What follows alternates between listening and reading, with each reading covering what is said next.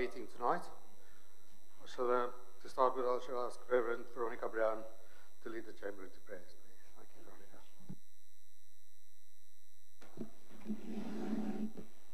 And so let us pray. Holy God, we come to you today asking for your guidance, wisdom, and support as we conduct this meeting. Help us to engage in meaningful discussion, to listen and hear each other's concerns and struggles. In particular, we hold before you today the financial planning discussions. Grant these counselors wisdom in the distribution of resources entrusted to this council. Lord God, fill these counselors with your grace as they make decisions that affect all of our island communities. Guide and remind them that what they accomplish is for your glory and for the service of humanity. We pray for Her Majesty Queen Elizabeth II and all who serve her that you will guide all of them towards justice, mercy, and truth. And so we present this evening's proceedings into your loving care. In Jesus' name, amen. Thank you, Veronica. Please be seated. Thank you.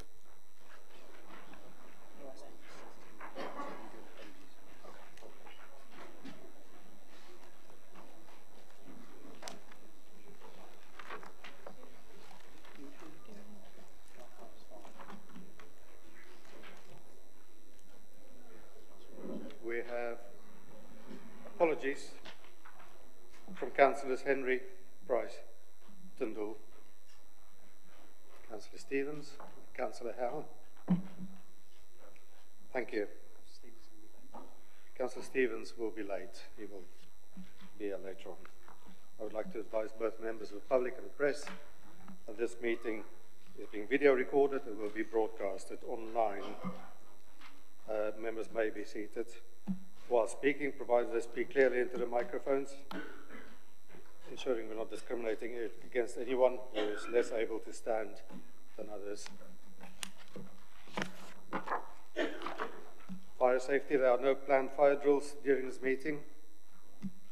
If you hear the fire alarm sound, please treat it as a real emergency and evacuate the building via the nearest safe escape route. The nearest escape route is via the stairs down there to your left, council chamber, and down the stairs by the exit door at the back of the building. I walk across the inner car park to the evacuation point, which is the pavement opposite the police station. The lifts cannot be used in this event of emergency, and please do not re-enter the building until you're advised that it is safe to do so by a member of staff. Item one on the agenda is to approve the minutes of the full council meeting held on the 15th of January 2020. And I would like, are members happy for me to sign these proposals? Councillor Jones Evans and Councillor Fuller, thank you very much.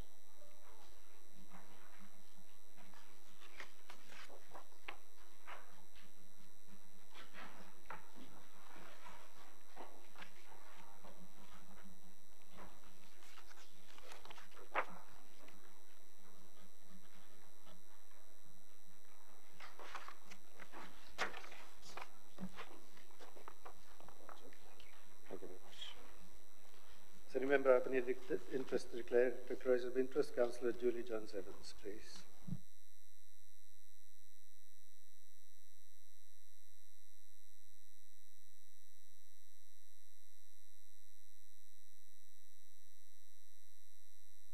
Sorry, microphone is not working. That's it, got it, thank you.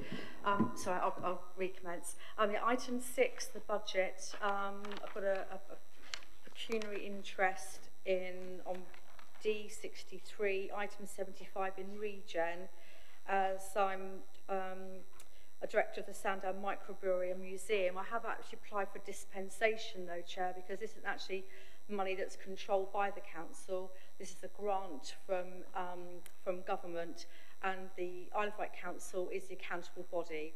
So basically they just sort of applied through the council. So I've applied for dispensation um, to our monitoring officer. Thank- allow thank to you, allow Councillor. to participate in Thank you. Dispensation granted? It's Been granted, thank you. Any other declarations. Councillor Lilly. Uh, I wish to declare that I'm a uh, director of Wight uh, of Wight Community Energy, and within my um, budget amend- amendment, will be referring to them. Um, and I just wish to um, make that de- declaration. That. Thank you. Thank you, Councillor. Thank you very much.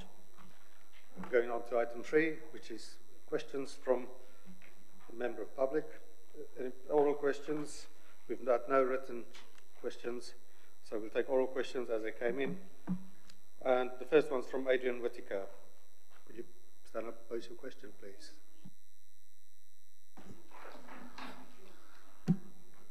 Given a recent decision by Shanklin Town Council to hand back the Sparside toilets to the Isle of Council, um, this is going to leave technically the whole main from the pier apron to the central beach with no toilet, full-time toilet facilities. This could have a serious detriment to tourists and local residents. There is another toilet provision, uh, Hope Beach toilets, but the Isle of Wight Council owns the Sparside building. Would the council look into opening these toilets up as they own them? Thank you for your question. Uh, I'm sure we will, but I'll get the leader to respond to you. Thank you. First of all, thank you for your question, Adrian. Um, obviously, it's important to us that our tourists have every facility, if you don't mind the, the pun. Um, I understand there are actually two sets of toilets on the Shanklin seafront at either end, but in addition, there um, is the uh, spa site, which itself is now council owned. Um, so I'll ask um, the relevant cabinet member to engage with officers to see what the impact is likely to be, and then um, we can re- uh, relay that back to Shanklin Town Council accordingly. You okay with that? Thank you. Can I just have, if it is decided not to do anything with the Sparside toilets, there is several derelict buildings along that that looks really tatty that could be boarded up or murals painted on them just to make it look more attractive. I think you're asking, can that be done? So I think if you, um, outside the meeting, engage with Councillor um, Whittle, who's our regeneration um, cabinet member, um, probably by sending him an email, he'd be happy to consider it and respond to you. So, but thank you for the Okay, suggestion. thank you. Okay, Thank thank you very much. Thank you. Uh, we've got another question from Miles Clark from Ryde. If you would quiz a question, please.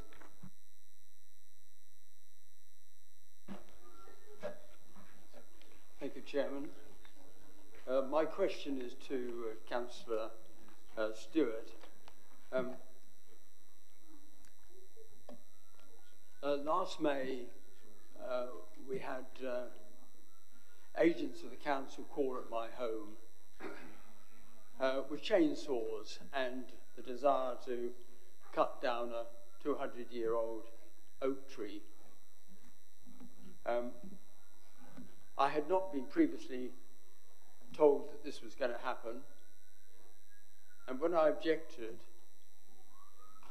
a few days later I was served with a, a 154 from the Highways Act telling me that I had to remove it within three working days. I think you would understand. I took that as being rather illegal. Um, for um, for 10 months now, I have, I have um, challenged the abuses of the PFI and the misuse of, uh, of Section 154. It is out of control and I feel unaccountable. My question is, my question is, Chairman, um, as the Council maintains that it has done nothing wrong and follows proper procedure, will he, that's Councillor Stewart, carefully look at my submission to the Freedom of Information Commissioner, which next week, and help resolve some of the issues uh, in that uh, submission? Thank you. you, Councillor Stewart. First of all, thank you for your question. Um, I understand the preamble to try and put some context, so that's fine. Um, so we have two cabinet members who this will affect. One will be Councillor Abraham, who's responsible for the, the trees aspect of this um, under his wider portfolio, and the other one is Councillor Ian Ward. But what I suggest, if you're happy to, if you send me an email with the relevant detail on it, um, including the reference to your FOI request, um, then I can pass it to the officers and make sure we give you a reasonable um, response in due course. Okay. Thank you very much. Thank you for your question. Uh, one more question, which is uh, from uh, Ms. Tanya Rebel from CAPS, please.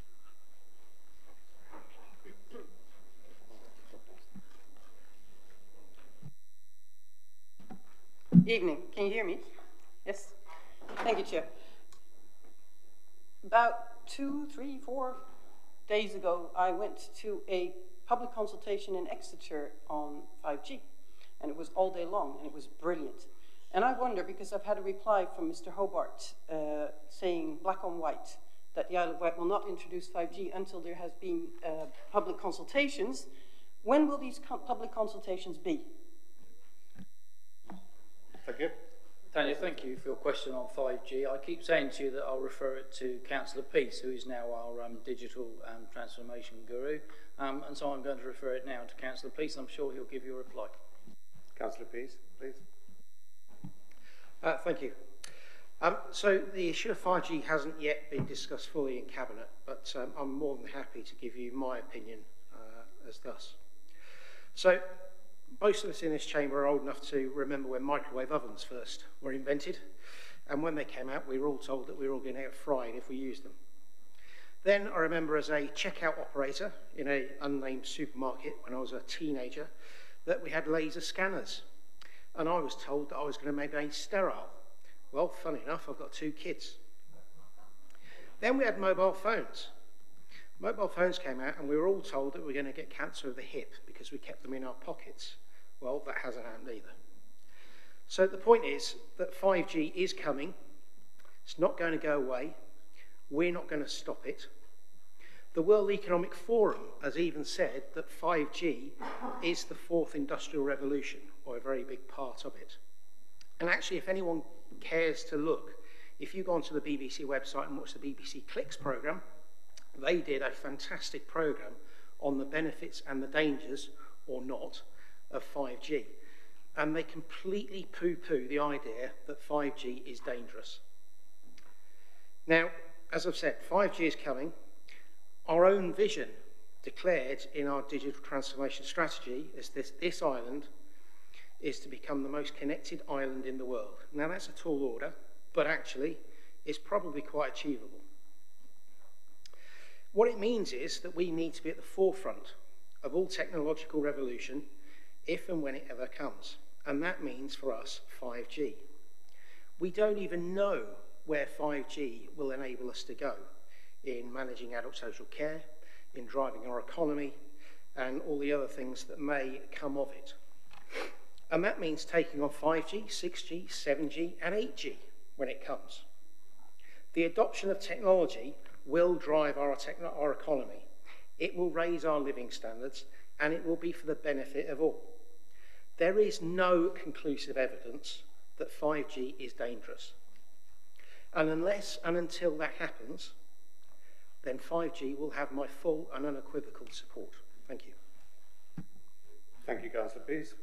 Thank, you. Um, I'm very glad to hear that. Come uh, back with a question. please. Yes, I want to just in a context and put it in context. Very glad to hear that the Isle Council has employed an unbiased and enlightened person to run this and who works on opinion because it's not about opinion, ladies and gentlemen. It's about thousands of peer-reviewed studies showing that existing electromagnetic radiation is already dangerous, but the industry, Sorry, it's gotta go to your councils, and governments are hiding this because of money and income.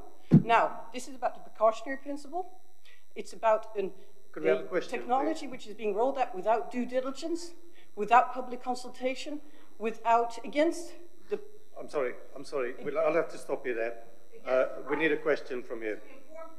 enshrined in UN law. So my question remains, because it was not answered, and that's very peculiar but very political indeed, when are the public consultations going to be? According to black on white, Mr. Hobart's promise, and according to your duty and responsibility to put health and environment before profit, and that's essential.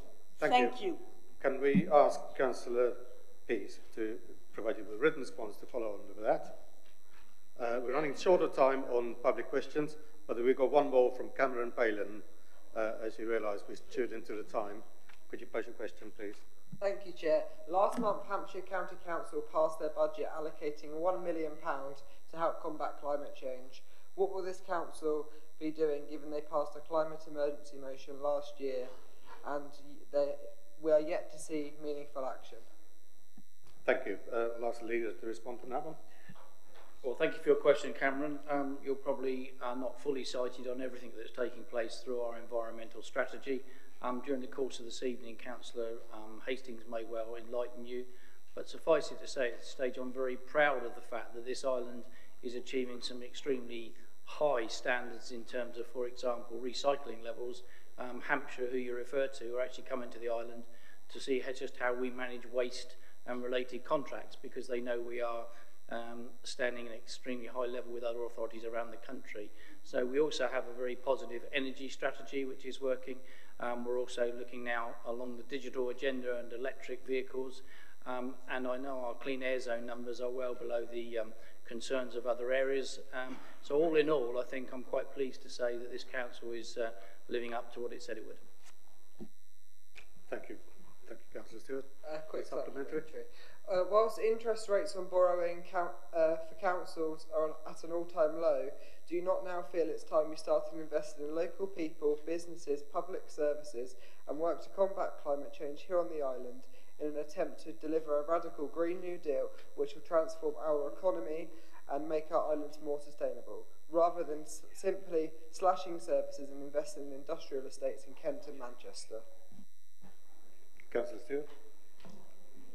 Well, I'd probably disagree with your premise to start with. Um, the investments that this administration in particular have made in relation to regeneration um, are self-evident. I could reel off, you know, the towns and cities plans that we've got for Newport Ryde and now Cowes. I could reel off the Newport Harbour agenda. I could reel off the Venture Quays initiative to get jobs here back on the island and grow. Um, there's a whole long list, and I'm sure you don't want me to give you the list. Suffice it to say, um, under the prudent management of my deputy Stuart, Stuart Hutchinson, um, as you all, and members will find out tonight, we feel we're in a very sound financial place, not without risk, but doing what we should be doing, which is spending the island taxpayers' money wisely. Thank you, Councillor Stewart. Thank you, Cameron.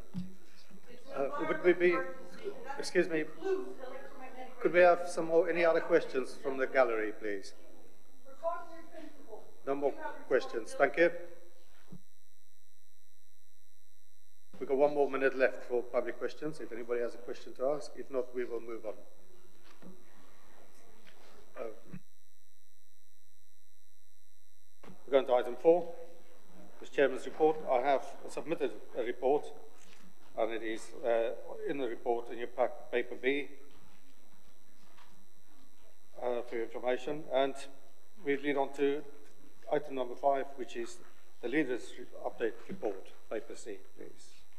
Thank you, leader. You've got five minutes. Yes, thank you, Chair. Um, probably won't take five minutes. There's just a couple of points I wanted to clarify um, that relate direct. First of all, um, particularly in relation to children's services, um, I've recently been discussing with the Cabinet member exactly where we are with a whole range of areas. Um, and I'm pleased to report, if we're not already, we've had four new schools built on the Isle of Wight. Um, and those that come from Gurnard will know just what an impressive um, outcome that has been. Uh, I'm getting many people, and I'm not from Ghana, telling me what a good result that is, and uh, I'm sure the local member will be saying. We also, today, this morning, completed Queensgate, which is the school that eats cows, um, which members have seen, and that's another very big success story. Um, overall, 15 million pounds going into our schools and education. And an interesting statistic I wasn't aware of that this island has managed to achieve 100% success with its bids through to government in relation to this area. And uh, I would like to congratulate all our officers who are working in this and Councillor Brading, and I'm so reassured that he is on his, on his game all the time, uh, and I think it's really important we recognise that. Um, the other um, misnomer I just wanted to clear up, um, some people have probably seen that a paper, is it paper online, the Island Echo have been uh, saying we've had another 8.4 million pounds from government. Um, actually, this is the money which, um, when you break it down into adult social care and to our funding settlement, as it's called, um, is already catered for fully in the budget. It's part of our existing, it's not new money, but it's well spent money, as we will probably find out as we go through the budget this evening. Happy to take questions also, Chair. Thank you, Councillor Stewart. Uh, we've got 15 minutes for questions only, questions on the leader's report. And I've got Councillor Hastings first, please. Thank you. Thank you, Chairman. Uh, would the leader agree with me that this council's waste team and residents of the Isle of Wight should be thanked for their hard work and cooperation in recycling to help us to be listed by DEFRA at 36 out of 345 local authorities in their league tables, up from 51st last year and actually 21st out of unitary and county councils in the UK. And indeed, Friends of the Earth have us listed in second place for climate change action. Yeah, thank you, Councillor um, Hastings. I would agree with you, and probably that will give anybody up in the public gallery some indication of what I referred to earlier. Um, there is no doubt we have an opportunity here on the island to be an absolute um, leader in terms of environmental sustainability, um, and I hope and know that your uh, forum that you chair in relation to that is working well. We have some excellent um, recycling going on, and come next year, or this year actually, summer, when the um, recycling plant comes into uh, its full uh, play, um, I think the island is going to be very proud of what will be one of the best recycling facilities in the country. Thank you, Leader. Uh, Councillor Julie Jones-Evans next, please. Thank you, Chairman. Um, Leader, just a question on planning and housing. Um, obviously we've got the housing needs survey out at the moment. I was just wondering what our strategy is as a council of uh, attracting funding to build the homes that we actually desperately need for people that are already existing in poor accommodation on the island or perhaps in, um, in temporary accommodation as well. We have got a real need here. And I've just, but obviously due to our size, uh, our population, our demographics, um, it's very difficult to attract the same levels of funding as other places on, in, on the mainland. So I was wondering what our strategy is going to be, Leader. Thank you. So um, I'm currently in dialogue with ministers on the island plan generally and uh, housing in particular and uh, I expect at a meeting uh, this weekend I will meet the Secretary of State for um, MHCLG um, and I know um, from the correspondence I've received that housing delivery it remains uppermost in the government's priority list. Um, we know that even delivering affordable housing is a challenge. Um, Councillor Hutchinson, he won't need to do this now, but we'll enlighten you fully on some of the cost issues just of getting houses built. And we're, we're like many other places in the country, but probably worse, we're just not building enough affordable housing and meeting our housing need, which you rightly referred to. And so anybody that tells me we don't need houses, I say to them, well, actually we do. You've got a house. Young people need a house. And other people do. So we have to find a balance. But we are putting a very evidence-based case together um, to present to the Minister. Um, and that will be topped up with further um, research I'm doing uh, shortly with every household on the Isle of Wight.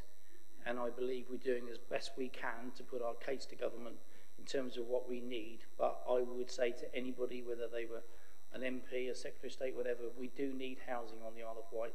We need the right houses in the right place for the right people. Thank you, Leader. Uh, Councillor you next to speak, please. Uh, I wish to refer to item 14 um, and particularly thank you or highlight uh, you um, mentioning Ryde and Ryde Place Plan. Uh, Town Council has fully signed off, uh, along with the local organisations, um, the Ryde Place Plan. So my question is, has Isle of Wight Council officially signed off the plan? and what is your vision of implementing the plan? Because in Ryde, we want action. Thank you. Leader? Not a question I was expecting, uh, so I don't have the immediate answer to whether we've signed it off. What I can say, two things I think are important to mention. First of all, Ryde, as you rightly say, has brought together a good place plan. Newport has done the same, and I know from most recent conversations with Councillor Nicholson that Cowes is also in that agenda. So we're going to have three towns at least now who have got real constructive uh, ideas and plans the way forward. Both Ryde and Newport have been very successful, as you know, in the Historic Towns bid. Um, and I also have been in correspondence with government regarding access to funding and the island deal. Um, they do refer us to um, the uh, historic fund bid and also the growth deals. But like you, I'd like to see some action now that comes in. We have been successful. We will continue to do that. But I will get you an answer on the specific question, um, as that is part of our regeneration strategy. So we should be getting on with it. And, you know, I've got a view about pace and getting things done. I think over the next 12 months that will be coming quite forward. Uh, but I will get you a specific answer to that point. Thank you, Leader. Are there any other questions for the Leader on this report? No other questions? If that's it, then we move on to item six, which is the 2021 budget strategy and council tax setting, paper D. And I invite the leader to move that all budget proposals to be debated. Thank you, Chair. Um, I wish to move the budget proposals as laid out and the um, relevant amendments that have been submitted, and I look for a seconder. Seconded, Councillor Hutchinson. Uh, uh,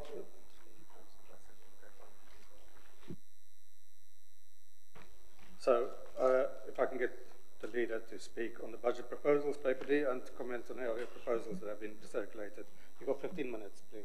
Thank you, Chair. I'm just going to ask um, one of the officers to just circulate a document to every member um, and probably actually to the press. I'm not too worried. It's a useful piece of information. So, members, on behalf of the Isle of Wight Council's Conservative-led administration, I am pleased to present our budget proposals for the year commencing April 2020. This will be the fourth year in a row that under my leadership, the administration has prepared and presented a lawful and balanced budget. You will recall that the position we inherited from the previous independent-led council back in 2017 was one where government commissioners could have been instructed to come into the council and take control, something that's been described as the Northamptonshire position. Since that time, we have transformed the finances of the Isle of Wight Council from a position of what has been described as near bankruptcy, when you recall the independent leadership walked out from this council, to a place now where we are fully financially sustainable and in a far better place to meet the challenges and opportunities we face going forward. When we came into power in 2017, we had to address a funding gap of 7.5 million a year. And since that time, we have brought this gap down to a far lower figure of 3.5 million a year from April 2021. This is a substantial achievement, and plans are already underway to help us address the 2021 requirement. We've also been able to increase our reserves from a minimal level of just over 5 million to a manageable level of just over 12 million. This has given us the ability to introduce our transformation agenda, affecting areas such as the Newport Harbour Scheme, venture acquisition, children's social care, and other areas of investment supporting our investor save approach, which puts the community first, such as Sandown Town Hall. Our reserves have also enabled us to manage risk and deliver a lawful and balanced budget, despite the many uncertainties that exist, which my colleague and Deputy Leader Stuart Hutchinson who has a portfolio for finance and resources, will expand on shortly. I have circulated to all members a summary of the key points linked to our proposed budget and financial approach, which reflects achievements we have as a council delivered or will be able to deliver going forward. As you will see, it includes millions of pounds of additional investment into our adult social care, children's social care, education and schools to ensure we protect the most vulnerable in our society. We have also built on our reputation with government and working with our MP are currently having mature conversations regarding an island deal, our island plan and the impact of the Fair Funding Review. So my key message at this stage to all members and to the wider public is that we are delivering on our promise to provide a financially sustainable council and we are investing in the future prosperity of our island. I'll close now by asking those proposing amendments if their presentations, that, eh, during their presentations, they will explain what risks they have assessed in the preparation of those proposals and what impact they think their proposals will have on our financial strategy. I'll now ask Councillor Hutchinson to add further detail to our budget proposals and in particular to highlight the uncertainties that have made this budget such a challenge. Councillor Hutchinson. Uh, thank you, Chairman. Um, firstly, uh, I need to apologise to our colleagues opposite. I recognise how little time they have had to look at the budget and to look at alternatives. Um, and there's a reason uh, for that. And that reason is the number of uncertainties that kept arising as we were going through the budget preparation process, which started uh, last June. We had, for example, the deferral of the Fair Funding Review. This is the second deferral in a row, although we think it's going to take place in the forthcoming fiscal year, uh, it could be changed. Uh, we were looking forward to the delivery of a green paper on adult social care, which would have indicated the future funding proposals for one of our biggest issues, which is meeting the escalating costs of adult social care. We all know of the promise of an island deal, which we're still working hard on, and the leader is in constant communication with government ministers about that. Um, as we know, it represents a potential uh, revenue income of 6.4 million pounds a year. We've had a promise from the uh, Prime Minister that he will recognise that, and we need to do our very best to hold him to that. We also saw changes to the business rate retention scheme, uh, which had benefited us enormously uh, because we got to keep 100% of business rates. But we heard during the year that that scheme will not continue. Um, it will diminish to 75% and then 50%. Uh, but there is a consultation later this year on business rates, so we hope that we will see some benefit from that. We also had, had of course, a, a, new Chancellor in November, and we were waiting for his November statement to let us know what was likely to happen on budget. Uh, that, that didn't happen, it was deferred, uh, and so we didn't know whether we would be allowed a 2% or a 4% uh, council tax increase, and we didn't get that information until after Christmas. Uh, we also had some further delays because of the 12th of December election, and overshadowing all of that, uh, we had the uncertainties of Brexit, which certainly impacted on our ability uh, to raise uh, additional revenue from commercial investments. So that was the background uh, against which we had to prepare this budget.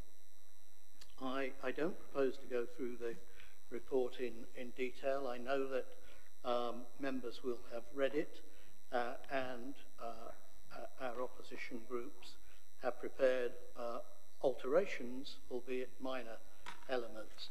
But can I firstly say thank you to all of those who have preferred those amendments because it is very clear from them that it is acknowledged that what is perhaps the most important thing we will be doing, which is determining how much extra council tax we will have to raise from residents, nowhere is that 4% challenged. Uh, and that, I think, is a real recognition of the financial difficulties that this council, as of course many others, uh, are facing.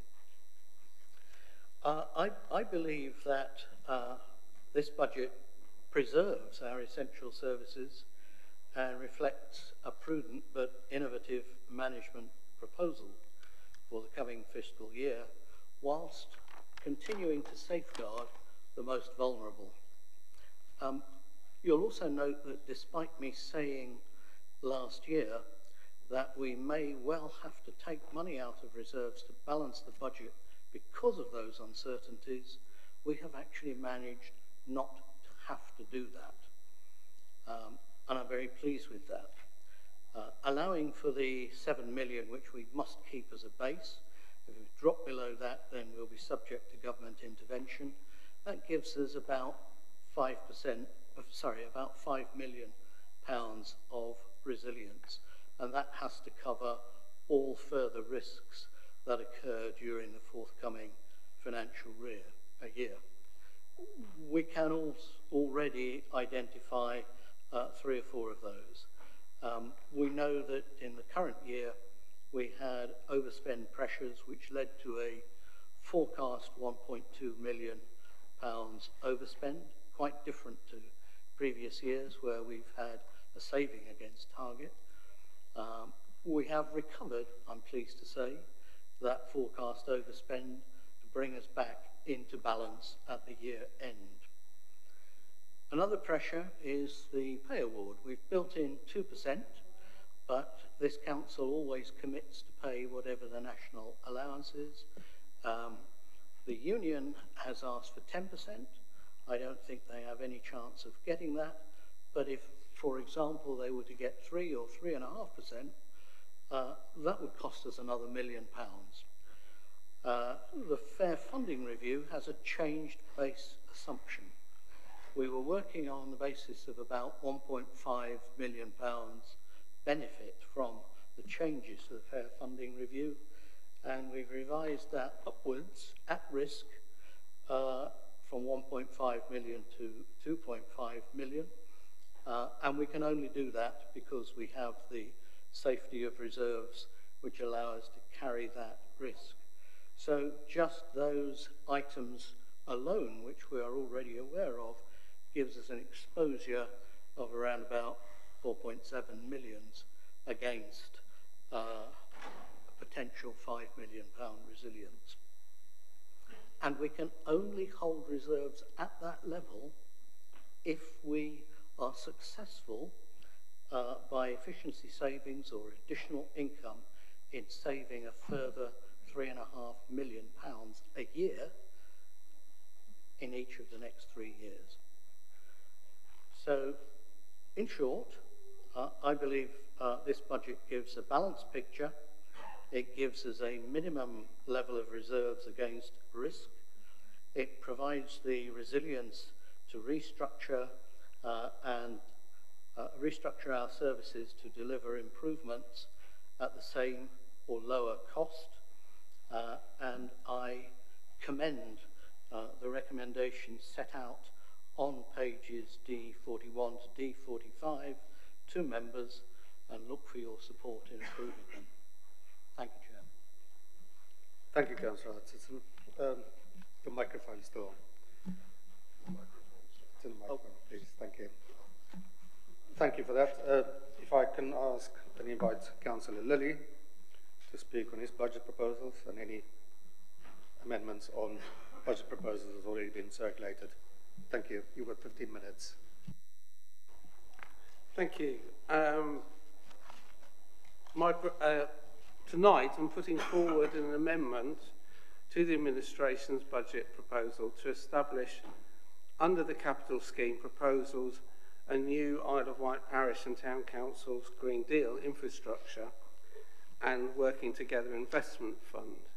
This is taking a, a million pounds from the reserves but it's also linked, which has been recognised by the Section 151 officer, uh, that there's very shortly going to be a return of uh, at least a million pounds uh, from the uh, loan or loan that was made to Wight Community Energy.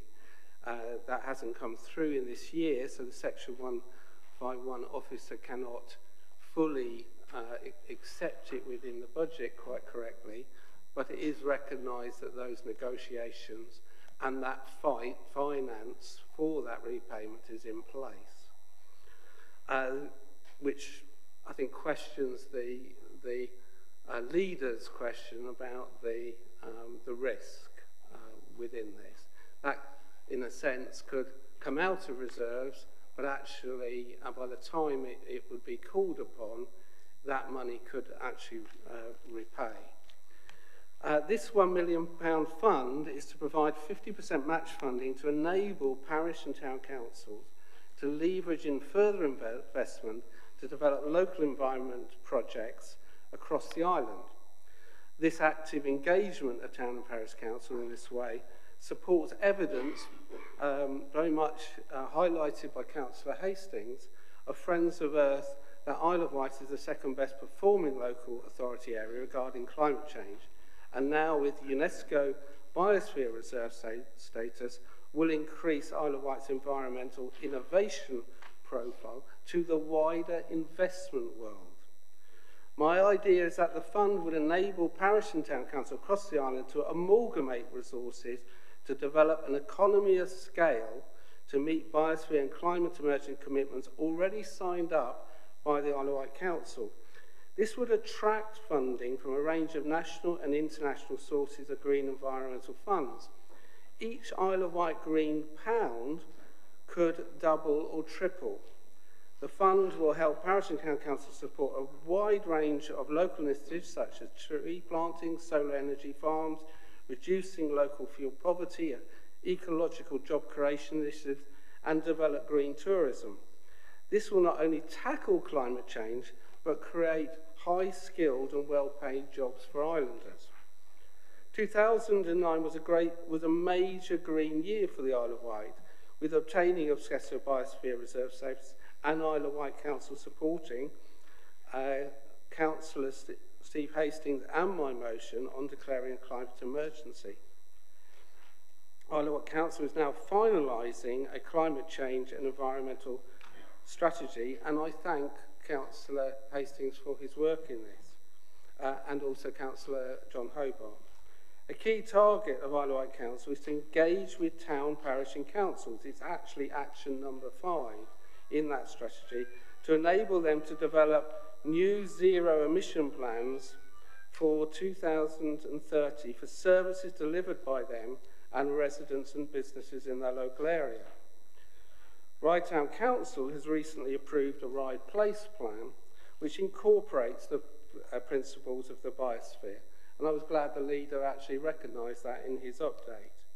Already Arteto gives an annual grant to local charity Footprint Trust to tackle fuel poverty and funds another charity natural enterprise Gift of Nature to manage nature reserves in the heart of Ryde. My purpose of further highlighting the green vision through this manual was to showcase and celebrate what Isle of, Wight Council is already doing within its climate emergency, especially in regard to town and parish councils. My proposed amendment is building on this wonderful commitment by seeking to accelerate action at local level. Climate change has to grow naturally from the grassroots of many diverse local community. It's about oak trees growing from little acorns. By Isle of Wight Council being brave and moving 1 million from reserves into a local green investment fund will enable local projects and initiatives to grow quicker and respond to the ever-increasing effects of climate change that is all around us. The local success story of Wight Community Energy provides evidence that Isle of Wight Council investment has not only been safe, provided a good return, but it's also provided leverage for off-island investment to expand it further at a time of sorry, at a time of post-Brexit, Brexit, inward investment is critical, and this investment into our natural, unique environment not only sends a message to the world that of Wight is a beacon for environmental investment, it sends a message to our children and their children that we are investing in their future. I wish to focus on evidence that supports the establishment of the fund now will really provide benefits of the island. Creating green and skilled jobs. A green transition for the Isle of Wight, a sustainable local economic strategy uh, realised through more green enterprises and employment produced by the Greenhouse think tank and the Europe, Green European Foundation in 2017 stated Delivering the green transition will require significant investment and the desire and leadership to bring about this change in new and existing enterprises. The scale of the challenge will require real leadership and a long term thinking from local government, key businesses, new entrepreneurs, and those enabling the investment resources and skills needed to be provided. This report highlighted how the Isle of Wight would increase employment opportunities significantly, up to 2,000 jobs, with a, key, with a focus of environmental green business opportunities. Two, investment. MoneyWise magazine has recently stated environmental investing comes under the broader socially responsible investing umbrella, which is also enjoying a spike in interest. In fact, the UK market for SRI investing should grow by a staggering 173% to reach 48 billion by 2027. Triodos Bank emphasizes how everything we do has a consequence. Investors are waking up to the fact there is no such thing as neutral investment. Furthermore, investing ethically may boost your returns. Rebecca O'Keefe, Head of Investment at Interactive Investors, says far from compromising investing and performance, there is a growing body of evidence that suggests that companies with good environmental, social, and governance practices would be expected to outperform their less ethical counterparts, especially as interest in sustainability and environmental issues grows. This has synergy with the Isle of Wight Chamber of Commerce and uh, NUS's Green Impact Scheme as championed by Councillor Jones Evans. Island businesses are being urged to pledge their support for the environment as part of the newly launched accreditation scheme, Green Impact, uh, businesses to reduce their environment impact also attracting and increasing their profits. The climate change, change strategy actually gets, says that the, um, one of the targets is for town and parish councils to actually be actively involved in that scheme. And again, investing in that will enable town and parish councils to do that much quicker. The Isle of Wight is the first island to take part in a national scheme. The New Economic Foundation urges in UK we create a new generation of decent, well-paid jobs in the places that need them most. This would underpin not just the future tax receipts to the government, but also the rejuvenation of local places, many of which, sorry, which have seen their economies suffer as jobs and investments are focused on the richest parts of the country or being offshore. The Green Jobs Report produced in 2017 clearly evidenced that Isle of Wight has a real potential to be a centre of green innovation. We could champion world-leading innovation and new business models, which could make the Isle of Wight the go-to place for, for tomorrow's zero-carbon know-how. Smart business leaders and smart politicians have for many years demanded more ambitious actions on climate. It could help encourage UK companies to properly invest after years of the uncertainty from Brexit and a lack of green policy commitment from the government.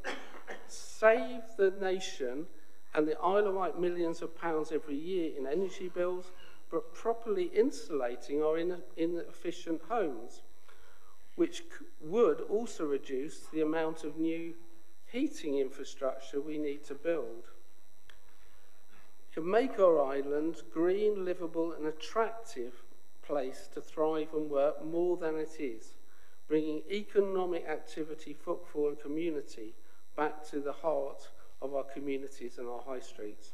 Shield communities from climate impact, we will be able to avoid such as more floods or heat waves, flood defence, for uh, example, quickly pay for themselves in avoided damages. Future proofing the island by now investing in the green and natural resource potential of the island that builds our economy through green tourism, green investment, and green in industry.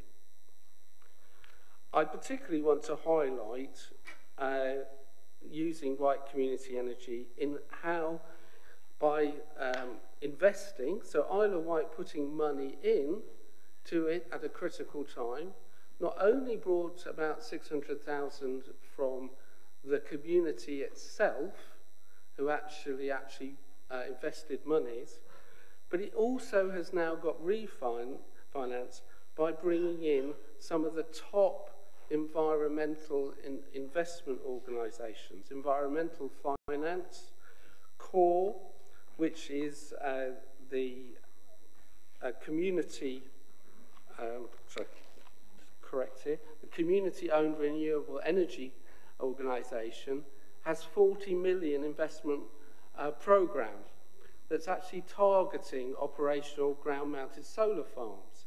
They are now on the island. Power for Change, which is an independent trust through the lottery funding that actually helps community uh, take action in their local hours, is on the island. Big Society Capital itself uh, has over nearly uh, 400 million and has already invested 270 million in uh, social enterprise and, and community organisations. And Environmental Finance itself being one of the leading organisations and actually now is launching a national coastal community fund and some of that money could be into this island right from the beginning. Lastly, I would like to sort of say that I urge support for this amendment and ask you to take a brave and courageous step In the same way, Isle of Wight invested in White Community Energy by enabling through this leverage investment proposal to empower town and parish council to engage with their local communities and have similar initiatives across the island. I lastly draw your attention to the Isle of Wight Council decision to borrow up to 100 million to invest principally on mainland to create income generation By investing 1 million from reserves, we're investing in the island, and exampled by White Community Energy attracting wider investment. I feel if we take the risk of mainland invest investment, 1 million, 1% of that 100 million is a risk worth taking in our island's future and backs our commitment to the climate emergency and environmental strategy. Thank you. Thank you, Councillor Levy. Uh, could I invite Councillor Garrett, please, uh, if you'd like to speak on a budget proposal, your budget proposal and suggested amendments. And you may speak on any other proposals that have been circulated. And you have 15 minutes for that. Thank you. There's a lot of noise. I missed what you said, Chair. Yeah, 15 minutes. To, excuse me, could we have quiet, please? Thank you. You've got 15 minutes to put your proposal forward. Thank you. Thank you, Chair. Well, first can I just commend Councillor Lilley on a, an absolute tour de force of, of, of, an amendment moved there. I will not be able to live up to you on, on that, I think. And it just shows that we should recognise the, the qualifications, skills and expertise that is around this chamber in, in, all, in all parties. And, and hopefully some of that might rest in the amendment I am putting forward to you today in the name of the Liberal Democrat group.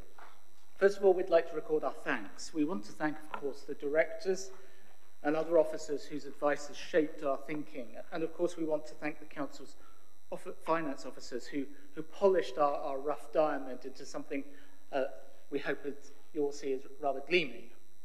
Um, once again, those officers have advised us with, with great professionalism, with great courtesy, and, and they have impressed us with the passion and belief and purpose of local government to deliver service for the public good that they hold. And I, I believe in all my encounters with, with this, this authority, both at the member level and at the officer level, that culture is suffused throughout the organisation. As with last year's Liberal Democrat amendment, our proposals draw on the liberal principles set out in our party's constitution. It's always important to realise that whatever one may think about the theatre of council budget time, it is an important time at which we get to debate philosophies as well. What drives us as people and drives us to separate into groups and parties, or not into parties in, in some cases. But I hope at the end of it all, we do remember there's vastly more that brings us together than, than does separate us. But in any case, if those of you who can't remember the last two times I've read out this preamble from our party's constitution, our party exists to build and safeguard a fair free and open society in which we seek to balance the fundamental values of liberty, equality and community, and in which no one shall be enslaved by poverty, ignorance or conformity. If you find yourself nodding at that, those statements across the way, perhaps you might be reflecting that your political home isn't quite the right one yet. The context of all of this is that we would be delighted, were we, would we not, that had five months and, and, and one day ago the promise made by the Prime Minister to Mr Bob Seeley, the MP for the Isle of Wight, been fulfilled. He made in the House of Commons a, a very clear statement that Mr Seeley should not worry. Don't worry. I can't do a Boris Johnson impression, but uh, don't worry was his exact words, the island deal is coming. Well, Mr Johnson, we're waiting, we're waiting, we're waiting.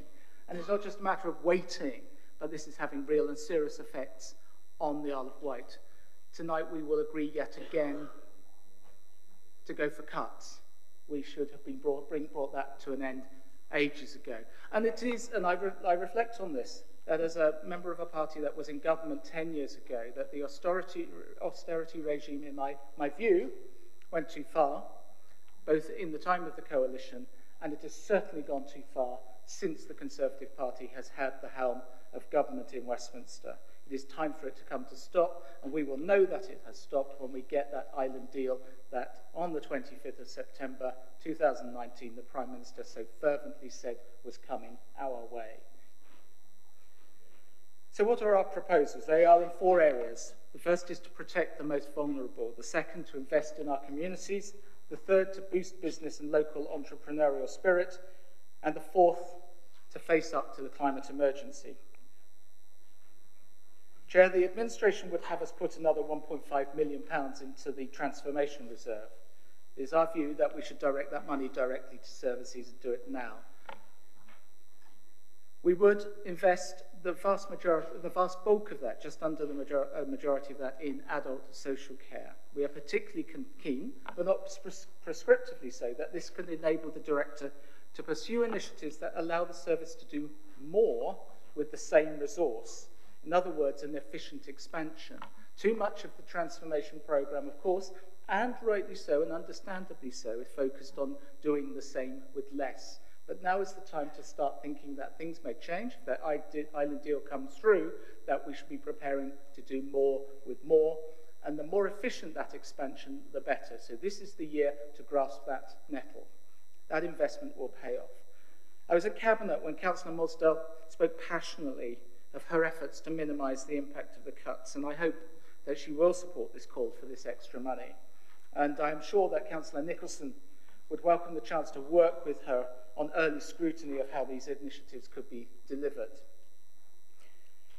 In our discussion with the Director of Children's Services, we asked him what he could do with an extra 200,000. It was, it was the wrong figure, he said. Two million would be more like it. And that candid assessment shows just how far those cuts have gone and why those cuts must stop. Education, children's social care cannot take any more pain. We all look to central government to fulfil that pledge to end austerity. But in the meantime, the director did indicate that 200,000 that we believe could be made available by redirecting transformation reserves monies would provide for valuable work to be done with voluntary services and on early help initiatives. I'm sure Councillor Brading could think of many ways in which he could support his director in doing that, and I'm sure Councillor Churchman would be delighted to lead her committee in early scrutiny of the way in which those initiatives could bear fruit. Chair, even in this internet age, libraries remain a vital part of our communities. So in a couple of places, we have decided that we would go ahead and reverse proposed cuts. It does not make sense to us to attack the libraries again So we would not go ahead with £18,000 of cuts to community libraries. Indeed, we would provide a further £6,000. Libraries have always been at the heart of our communities, along with other institutions, perhaps ones that Councillor Nicholson would particularly favours. They will play their part, and we should continue to support our library, libraries on this island. We also would reverse the £16,000 uh, proposed reduction in beach cleaning frequency. I think if, if, if you go anywhere in Britain and ask what they know about the Isle of Wight, they know it for its sandy beaches, and I think they would find themselves somewhat aghast that we would somehow be thinking of not cleaning one of our most prized assets as frequently as we could and should. Chair, right at the heart of our communities are our parish, town and community councils.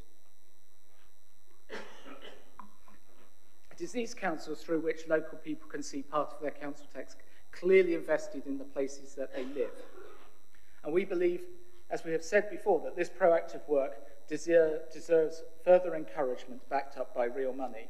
So that is why we yet again would provide for a £100,000 community public realm fund to deliver locally desired schemes. New play equipment enhances in parks, public spaces. I'm sure every member of this council could think of that small scheme which would bring great benefit to their local community and could be delivered in partnership with, with their local parish, town or community council.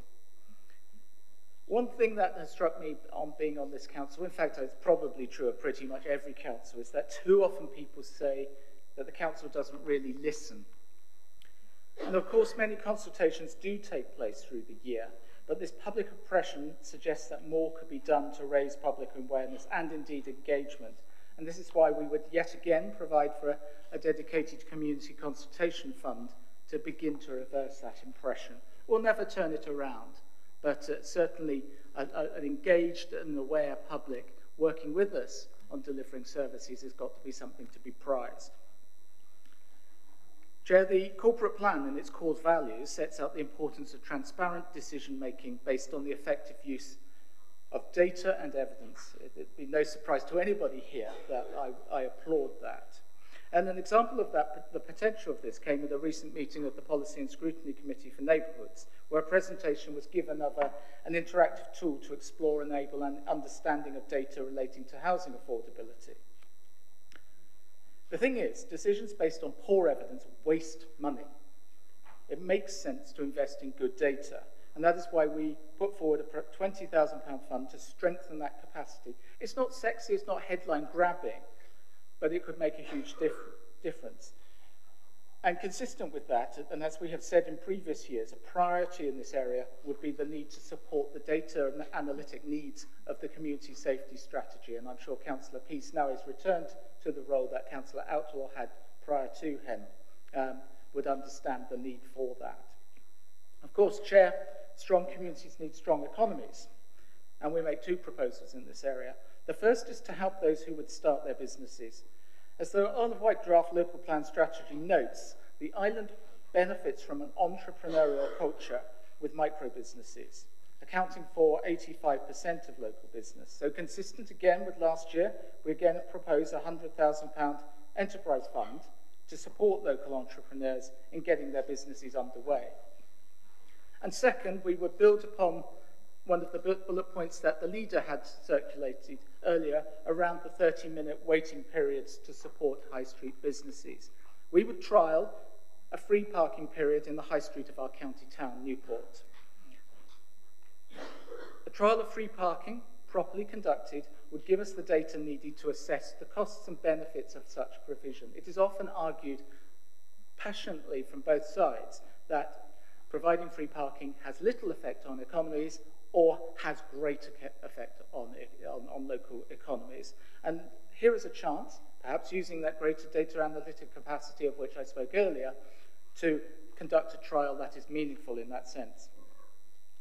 Chair, our final proposal relates to the environment, and I listened extremely carefully Councillor Lilley, and I hope you'll give me a copy of his speech at some point, because it was packed full of things that we can do on this island. But we need to back that up with money, do we not? We are as much a threat from climate change as every other part of this planet. Last year, I was glad to support, along with many others, on a cross-party basis, the decision to declare a climate emergency. The strategy is on its way. We just need the resources to back that up. Councillor Lilley has placed a price on that of £1 million. We haven't quite matched you, Michael, but we have said that £250,000 would be set aside for initiatives to support action in that, that area. I'm sure there is common ground where, which we can work on in the future. Right at the start, the leader of the council challenged those putting amendments to discuss risk. Well, risk is discussed, in, of course, by the Section 151 officer. Um, but I also ask you to consider what is the risk of not doing things? What is the risk of not funding activity on climate change? What is the risk to communities of letting our community, community library uh, fail, uh, not fail, but to come to the point of failure? What, what is the risk of, of all of these sorts of things? There are costs and there are benefits.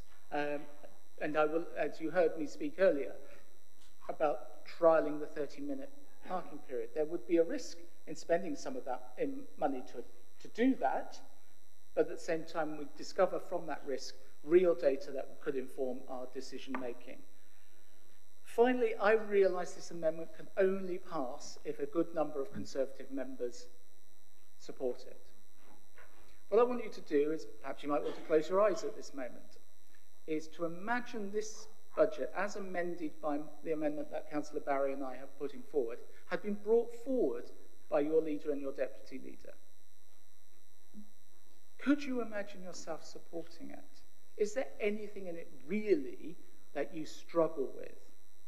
Yes, it's a little bit riskier, in, to use that word, in terms of financial prudence, but it's not recklessly so. The reserves will still be healthy. There will be, still be money in the transformation reserve, although less to, to move in that direction. But you will also have achieved things that the people that you represent are expecting you to do. It's very, very difficult to explain to somebody that you had to cut £3,000 from community libraries because the transformation reserve needed a million and a half. I can imagine a lot of people would go, like, come again? Really? Three grand? So that it could go into a reserve? I don't get it. I don't pay my council tax for you to put money into reserves. I pay my council tax for demonstrable improvement in services or protection of services when we are in the times that we are in, which is ones of cuts. So I ask you to think about that. Um, and think, actually, you know what?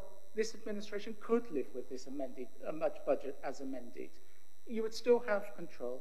You would still have the cabinet. They would still steer the decisions made.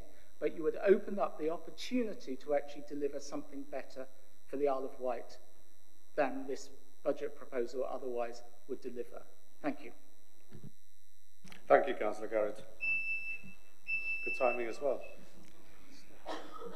If I could inv invite Councillor Andre, please, if you could speak in your budget proposal, and any other amendments that have been circulated, and any other budgets that have been circulated. Thank you.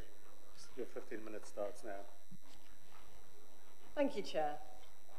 Before I start speaking to my amendment, I would just like to um, refute um, a suggestion that Her Majesty's government had to, uh, well, thought about stepping in to take over in 2017. I think you'll find it was 2013. Yes, correct. correct. Today, I come before this council with a purpose. A purpose to fight for the residents, for the rights of our island residents, a purpose to do what is right by our island residents, and a purpose to ensure that the budget that we set today is right for all island residents. Tough times call for tough measures, and for many of our island residents, these are very tough times indeed. We are custodians of the public purse and have a duty to spend wisely, prudently, and efficiently. What do the decisions that we make today say about our priorities as a council? Not just for today, but for the future. So let's take a closer look at the budget proposal that we have before us. from our Conservative administration. This is where the axe is falling. Cuts of over 1.5 million from adult social care, public health and housing needs, over 340,000 from children's services, education and skills, nearly 800,000 from infrastructure and island roads, over 270,000 from our environment and heritage, over 900,000 from resources, and 128,500 from much needed planning and housing renewal. More of that later. I would hope that the allocation of funding should be proportionate to the positive impact that it has on public services. I'll just say that again. I would hope that the allocation of funding should be proportionate to the positive impact that it has on public services. The largest cut that is proposed, unsurprisingly, comes from adult social care, public health and housing needs a cut of over 1.5 million from a controllable budget of nearly 49.5 million. Now we know that there are extreme cost pressures facing adult social care. Figures taken from the latest Joint Strategic Needs Assessment show that over one in four of our population is over 65, which is the 17th highest level of any local authority in England and Wales out of 381 local authorities. Over the next 10 years, the number of 65 to 84 year olds will increase by 20%, while the over 85s will increase by 24%. The answer, we are told, year on year, is to add a percentage to our council tax to cover this. This year it's 2%, and it's still not enough to provide the quality of service that residents deserve. Over 1.5 million in cuts. According to the Equality Impact Assessment in the budget report before us, the impact on services, specifically in respect of age and disability, due to the scale of the savings and the changes, has a potential for negative impact. Only yesterday, a landmark review was published by Sir Michael Marmot, blaming austerity for life expectancy stalling for the first time in more than 100 years, and claiming that it had even reversed for the most deprived women in society. He warned that growing inequalities in society would lead to worse health he continues that the government has not taken the opportunity to improve people's lives and life chances over the last 10 years. Real cuts to people's incomes are damaging the nation's health for the long term. Poverty has a grip on our nation's health. It limits the options families have available to live a healthy life. Government health policies that focus on individual behaviours are not effective. Something has gone badly wrong, and that's a direct quote. Yet we've been told by government that austerity is over. Try telling that to people struggling to make ends meet, asking for food bank vouchers and using free food initiatives, having to choose whether they heat their homes or put food on the table, delays in the transfer to universal credit causing genuine hardship to far too many people. Is this really the fair and equitable society that we want to have? We must be mindful in setting this budget of the real impact on our more vulnerable residents who are effectively at the coalface of these cuts and have suffered through the years of austerity. Yes, we have to draw the line somewhere when we set eligibility criteria, but be mindful that there will inevitably be those who fall on the wrong side of the line, and we need to have the right support mechanisms in place to allow them to access the services that they need at a price that they can afford. We are incredibly fortunate to have such a comprehensive raft of voluntary sector support, but we should not be relying so heavily on the third sector to fill in the gaps in our public services.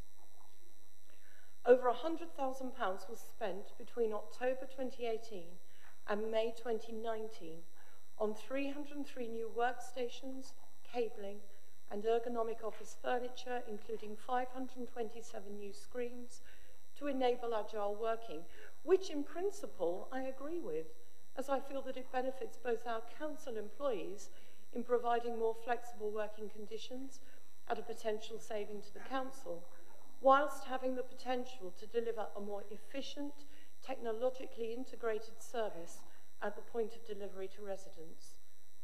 Despite this investment, 820,000 has been allocated for refurbishment of the Sandown Civic Centre as replacement office space.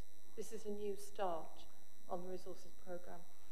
Included in the budget before us, how, how can this be justified when there are 2,655 people currently on the housing register with no idea of when they will have somewhere to call home? This against a backdrop of derelict sites sitting dormant for years by property developers mostly who are waiting for an upturn in the housing market. Sites that could provide real homes for real people. We need to get tough with those who are only interested in their own financial gains at the expense of our island residents. Yes, we are open for business, but to partners who share our vision not those who wish to exploit it. That's why the Island Independent Group amendment to this austerity budget is not to spend precious funds on refurbishing a council building, but to allocate those funds into measures that will help to kickstart housing renewal and development across the island. A fund to cover the external advisor costs associated with undertaking compulsory purchase orders of sites which can deliver viable, social and or affordable housing developments where private treaty arrangements have not been possible to secure. Also, the provision of additional resources to accelerate the mobilisation of the Council's Housing Development Company and any necessary subsidiaries in order to deliver social and or affordable housing. We need to take back control, control of our budgets, control of our funding and control of our spending. Much has been promised, has been alluded to um, by Councillor Garratt in the shape of an island deal. We have the evidence from the Portsmouth University study that the cost of providing public services are greater because we are an island. We've had the recognition from government that this is the case, and the promise from our MP that he's had a word with Boris but no commitment for additional regu regular funding has been forthcoming. The fair funding review has been delayed, so the figure of 1.5 million anticipated can't be assumed or included in any budget calculations for the forthcoming year at this time. Despite it being announced yesterday that the island is to receive an 8.2, 8.2 I think you'll find, million pound funding boost, with £3 million of that ring fenced for social care, we are now told that this is not new money. We cannot plan a sensible fiscal strategy where we have to rely on such funding boosts that are arbitrary by nature and not part of a sustainable funding commitment by government. We shouldn't be asking for a one-off handout, but for a long-term commitment to continued funding. We need an island deal that specifically addresses our financial disadvantages so that we can plan and grow for the future in a sustainable way. As a council, I believe that we have a moral duty as well as a statutory duty to provide quality services for our residents. We should be doing everything that we possibly can to reduce the divide between rich and poor, not being complicit, cutting funding from year to year.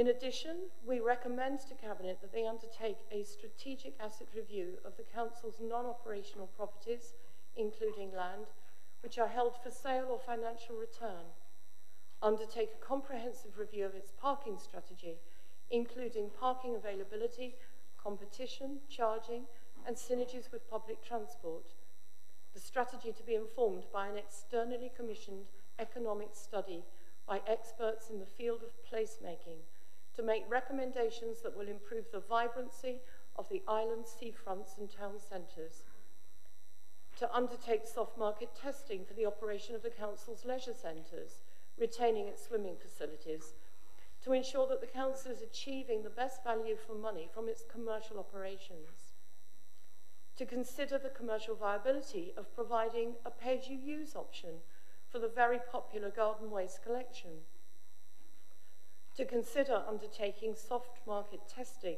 for digital and non-digital advertising at prominent sites under the council's ownership, and to review the criteria for the hardship fund under the council tax support scheme with the aim of widening its eligibility within the budget available to cater for those residents that are not um, that don't meet the criteria with the consideration to reintroduce some, such things as the Islander card. We're asked to consider the risks associated. I consider the risks associated, associated with not accepting this amendment is for us to fall further behind with our house building programme, which will have an even greater impact on our island residents in terms of their quality of life. I'd like to commend the 1957 group for their passion and commitment to our green agenda and agree that we need to act now as per our commitment. I also agree that the green agenda should be the golden thread that runs through our organisation. I fully support the Liberal Democrat mantra of doing more with more. And this is a message that we need to take to government. The recognition that our beaches are our prized assets is not always supported by funding priorities – and more and more services are being passed down to the town and parish councils, putting them under greater pressure to deliver for residents but without any associated funding. I can see that setting up an enterprise fund to seed fund new business startups would be of great benefit to our communities. In conclusion, the Island Independent Group cannot support this budget which does not empower and support our island residents, especially those more vulnerable, who rely on us to ensure that they can lead healthy and fulfilling lives. We believe that our amendment and recommendations, if accepted, will be a positive move in the right direction and we commend our amendment and recommendations to Cabinet and to this Chamber. Thank you. Thank you, Councillor Andre. Uh, I would like to invite other group leaders to speak on a budget proposal. Councillor Julie Jones-Evans, you've got 15 minutes, please. Um, thank you. Um, yes, just going to say brief, words on behalf of Councillor Love and myself. As you can imagine from our non-aligned view here, um, there's elements in all the budgets that we agree with and disagree with, as you would uh, expect. Um, for, I think for, for me especially, um, this, this budget isn't, the budget that's being presented by the administration isn't really their budget, it's the budget that's being put, put upon us for more cuts yet, yet again from central government. This is it's my 10th budget. I never thought 10 years ago I'd be sat here again making more and more cuts in, in, front, in front, of it, front of me. Really horrible position to be with. And all we should be doing is not you know, be sat against each other saying, oh, I'd like this, we want that. We would just be one message, clear message to government, where's our money? I went to see Bob Seely a few weeks ago and about something else, but at the end of it, Bob, where's our money? You know, I don't, the Prime Minister saying, don't worry, don't worry. Well, I'm sorry, even Claire Perry O'Neill, one of his old, old um, ministers, said, you know, if you, if you get anything from Boris, make sure you take a, a lawyer with you and get it in writing. Because we, we need, all we're asking is that we put on a level, level playing field with everywhere else. We've got the ideas, we've got the energy, we've got the beautiful landscape, we've got so many assets, fantastic community. We can really punch above our weight, but it's really hard with one hand tied behind your back constantly, constantly having to make more and more cuts. So I, you know, I thank I thank the administration for the, the hard work that's gone into this budget. I thank all the officers. I thank everyone who's contributed because this is not easy. When you know you look at that the pie chart and you see how much is coming out of adult social care, public health and housing needs. You know, Councillor Molster, I just don't know how you, you do it, quite frankly. It's a really, really hard job that you have. And I'd imagine the room is quite blue within the cabinet when they're discussing where the, where the axe is going to fall. So I just want to say a couple of things about the, uh, from Councillor Lilly, about the, uh, the Green proposal. Um, you know, really, um, to say sellability, it should just be, you know, that golden thread that goes through all of our services. It shouldn't be a nice thing. It really is something that has to be done. And I think if we're going to make a real difference, it's got to be within the realm of sustainable transport. That is what we need. That's what we need uh, a sustainable link between Newport and Ryde, our, our heaviest co travelling corridor. Let's do something there. Great to see that the cycleway, to, the Medina cycleway is coming forward. That, that's, that's a start. The, just to go back onto the green impact, now um, Council Lead mentioned that, something I brought to the Isle of Wight, and it's with the Council, uh, Isle of uh, Wight Chamber of Commerce, businesses, um, and NUS, but it's also um, half-funded by the Isle of Wight Council.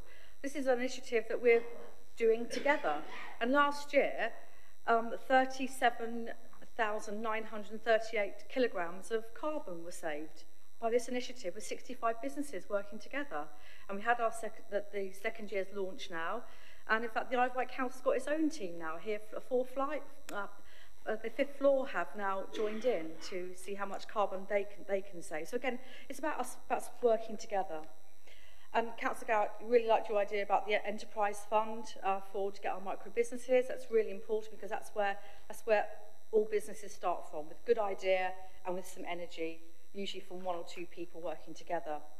Half hour free parking in Newport, I prefer that in the car parks rather than the high street if you don't mind, because we, do, we have plenty of capacity in our, our car parks, but I'd rather have us the high streets for a better pedestrian experience because that's what we want to, to achieve in town. And I think with, with Ryde and Newport, we've both got our High Street Heritage Action Zones coming down, um, hopefully starting in April, which I think is, is fantastic, really exciting time for both towns to celebrate the heritage and to help our su suffering high streets. Councillor Andre, absolutely right to point out the fact this the budget report says that our residents will be negatively affected, and we must all remember that these are decisions what we we are making. Put our, put yourself in the shoes of the people that are service users that are going that are going to have to find ways to cope, find ways to pay in, increased council tax. But it's the housing, as I alluded to earlier, my question to the leader, housing is where we need to have that desperate investment. I, I don't know how many of you went to the town and parish meetings that we all were very pleased to host this summer for RMP. But the people that were coming to those meetings, and they were busy meetings, they, they weren't people coming who needed housing. They weren't people living in, in, in bed sits in, in hotels with their families, in, in bed and breakfast. Those people weren't there. We want to hear from these people. And these people living on the island, don't be afraid there's something, an influx of people going to move into these, these new houses. No, it's people that are here. Our services are already suffering under pressure. Our doctors, our hospitals, our schools, all of that, or dentists as well. So don't think it's about bringing more people here and extra strain. The people are already here, but they just need decent housing. That's the fundamental basis for anyone to get on in life, is to have a secure home. So I would just, really, my message is, let's just work together. Let's all of us just keep beating that drum. Where's the cheque, Boris? We want the cheque. We want it now. And can we have it backdated, please? Thank you, Councillor Jones Evans. I will uh, open this up to members. We all got three minutes each, and I'll start with Councillor Nicholson. Uh, sorry, sorry. I'd just like to open the debate with a, uh, a, a, a summary uh, impression, um, and it goes like this. We're going to talk about the budget, debate it to and fro, the financial management of money and where we want to go.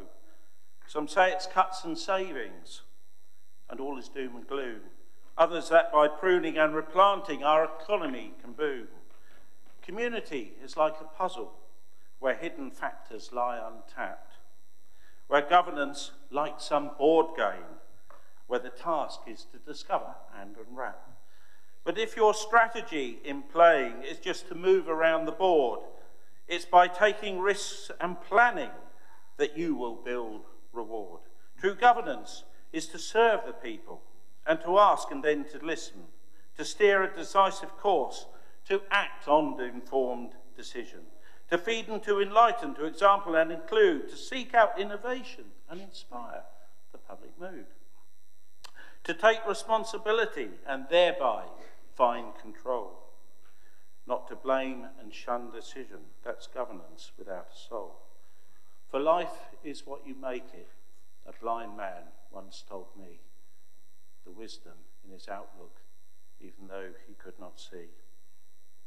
We share this isle together, and we all want for the best. Action comes from what you do. We're not leaving it to the rest. Thank you, Chairman. Thank you, Councillor Nicholson. Very good. Councillor Fuller, you're next to speak, please. Thank you. Thank you. I don't know how I can match that, John, but, but we'll try nevertheless. Um, within the independent amendment, we did look at the budget very, very closely in the very limited time that we had. And I think it needs to be re reflected that other than last year, uh, in previous years, we haven't had that long to look at the budget, pull it apart, and then put it back together again. But there are some issues that do cause me concern. Um, you know, and one of those is the Isle of Wight Council's assets.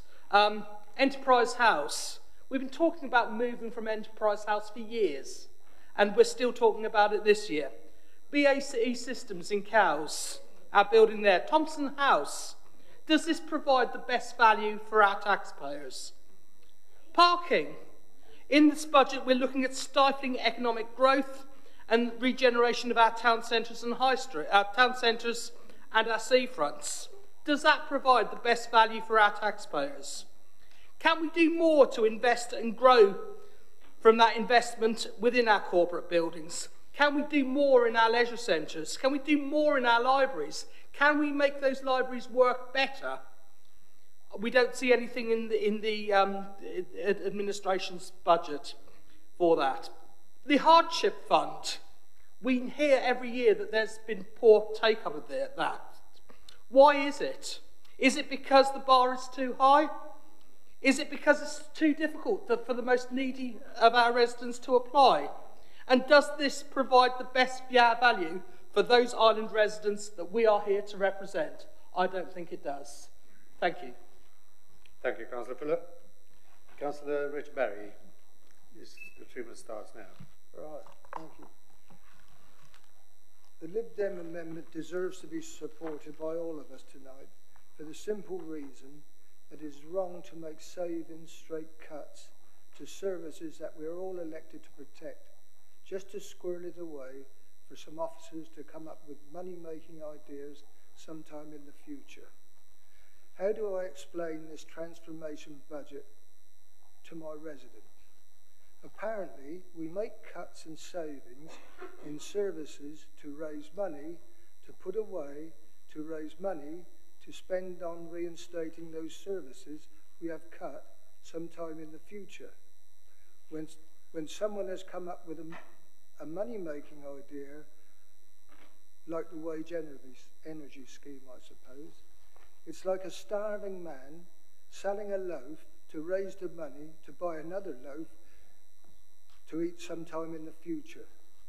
This amendment uses that money now.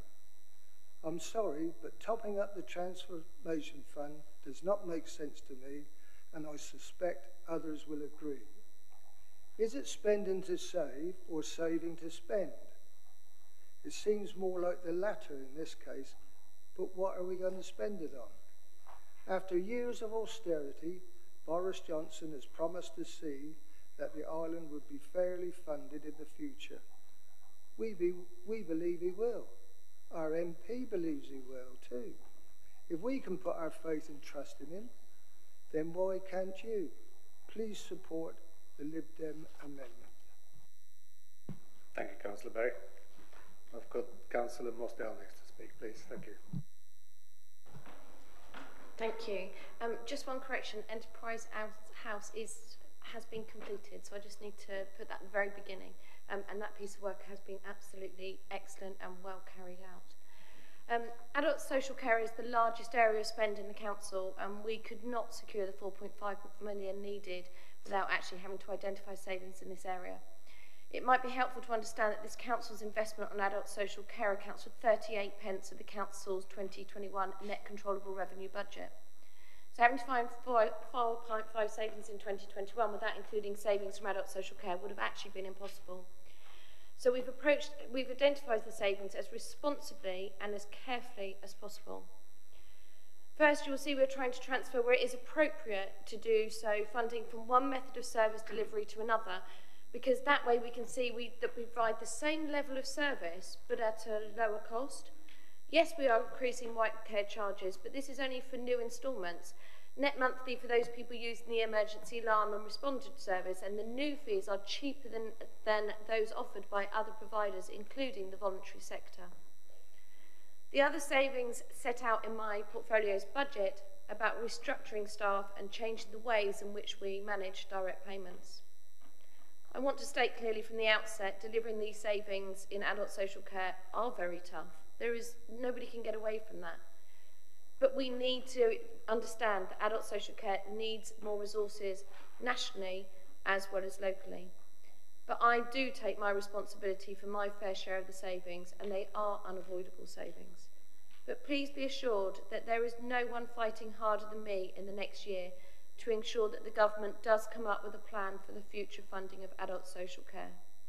Of course, adult social care would like extra money, but it's important for me that where this comes from and that it doesn't come from the Transformation Reserve. It is me that brought in the extra care housing, and these projects will ensure the future of adults' care is more secure in the future. 700,000 actually with a 48 million pound budget is a drop in the ocean with the director of travel with that awful expression of capital depleters. These projects will assist island residents to remain within their homes longer and need a better quality of life. And that should be important to all of us with families in this room, even ourselves. Most importantly, which we should all address, is there is not one political party that has actually really addressed the future funding of adult social care in a really sustainable and future-proofed way. The nearest we have been to a white paper that is actually written in a decent, coherent way and published has been written by the, actually by the LGA.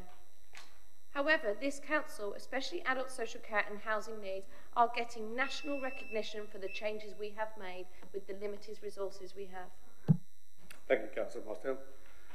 Councillor Medland, your three minutes starts now. Thank you, Chairman. I didn't mean to, I didn't really want to intervene, but there was an interesting point from one of the members of the public about our investment strategy, and I do want to query it. I have had my doubts about it for some time. Three years ago, uh, the Island Independents put forward a, a, uh, the policy of investing in the Red Funnel sale. And if, if we bought shares in Red Funnel, it would have brought us a return in dividends of 17%. So we, this is the kind of thing I think we should be looking at in terms of bringing back uh, investment into the island. If we take these investments on detailed on page 89, the investments we've made in Salford, Aylesbury, Oxford and Southampton, they've cost this council £35.1 million pounds and they're currently worth, thanks to the large costs of purchasing these properties, only 33 million pounds. We've lost 2.1 million pounds so far, and we are now facing quite a dangerous situation in our, in the sense we have or at the end of a 10-year bull market on the stock markets. The UK is the third most indebted nation in the OECD, and we have a real potential of an economic slump and a collapse in asset prices. And in paragraph 5.5, it does actually say here compared with other investment types, property is relatively difficult to sell and convert to cash at short notice and can take a considerable period to sell in certain market conditions. I, I would like us to reconsider this, uh, this approach to investment. Thank you, Councillor Medland.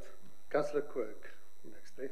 Thank you. Uh, I sit on Corporate Scrutiny Committee and we considered this budget at a private uh, pre-meeting and at, for a Corporate Scrutiny meeting.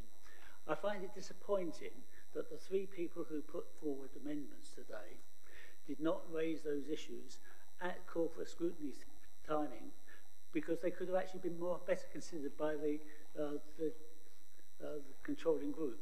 And it seems a shame that they weren't used, they didn't use the system that was available uh, to uh, question the, the, this at that time. Thank you. Thank you, Councillor. Councillor Brading, you next. next. Thank you, Chairman. At the start of the conversation last summer around children's services budget, what was quite paramount at the beginning was that we could not make any more cuts to services. Something my Director of Children's Services and I discussed. So I'm very grateful that uh, Councillor Garrett has recognised, I quote, Children's Services can't take any more pain. I know he's had conversations with my lead office around this, Um, and it is fair to say that the one major cut in my budget is not a cut to services at all. It's uh, the recontracting uh, the contract, saving money that way, because there are no services I can cut with my budget anymore. I'm also grateful to Councillor Andre for recognising the pressures the children's services are under. But then I'm disappointed that none of the money that you're going to save goes to children's services. So thank you for recognising the pressures. But I just want to sum up by saying there has been no cuts to fundamental children's services because that was the, at the outset what we were determined this year we couldn't and wouldn't do. Thank you. Thank you, Councillor Brading. Uh, Councillor Barry Abraham, you next, please. Thank you, um, Chairman. We keep on attacking poor old Boris for the uh, not delivering the uh, his promised island deal, which, uh, bearing in mind he's only been in uh, Prime Minister for what a few few months, I think it's a bit much, because certainly in all the time that I've been in this council, people used to run run around all over the place. We've had, we've had uh, an office out in Europe that we tried to get money, which, which was never forthcoming to um, the island. but I fully expect to hear that the, uh, the government will deliver on, uh, on the island deal. Now, it might not be exactly everything that, that we want, but um, you know, I'm, I'm, I am quite confident that we will be able to do it. I also think it's a bit much when um, people, uh, particularly the independents, start attacking uh, the way that, or where we want to invest within, within the council.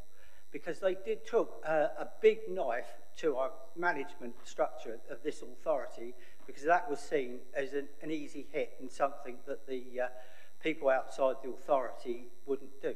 but it actually totally and utterly destroyed an investment uh, strategy in this council. You know, we are the authority, this authority, that have actually decided to have a, a housing company that to try and actually address some of the, the uh, housing shortfall that, that uh, developer, developers have not, uh, uh, uh, uh are not delivering.